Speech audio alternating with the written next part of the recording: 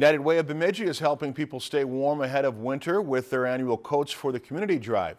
Between now and October 3rd, you can stop by J.C. Penney's, Sanford Bemidji Medical Center, both Lueken's grocery stores locations, or Dress Club cleaners, and donate new or gently used winter gear. Just put it in the box marked with United Way logo. The clothes will be distributed in early October. We're accepting any gently used men's, women's, children coats of any size. Um, we also accept winter gear such as snow pants and boots and scarves and hats. If you think about, I feel like children go through snow pants really quickly and we like to get a lot of donations of that because it's good for the kids to have the distribution will be held at First Lutheran Church in Bemidji on October 6th from 9 in the morning until 1 in the afternoon. Anyone in need is welcome to stop by.